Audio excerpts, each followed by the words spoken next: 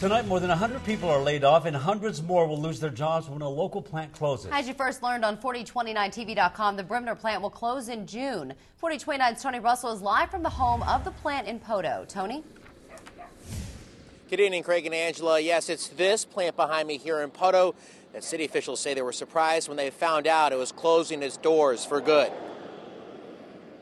The news of this plant's closing came as a surprise to city leaders. It was a little bit of shock to me because we were told it was seasonal again, and so when it came up, it was it was kind of breathtaking and, and also devastating knowing that the employees are going to be facing some challenges. Devastating uh, for the a lot of the citizens of Poteau and the immediate area.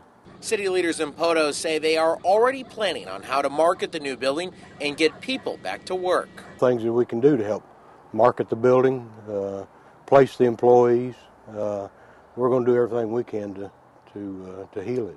They say Bremner's parent company is going to move out, and more than 250,000 square feet may be up for a new owner. And if they do that in a pretty timely manner, we're pretty confident that with that size of building and the industries floating around out in the United States, that we may be able to secure one. Shockley says his goal is to get people in this region back to work as soon as possible. Uh, hearts go out to those employees, and, and, and as city leaders, we're going to do our best to fill those voids as quick as we can, and hopefully with as close to paying jobs as what they had before.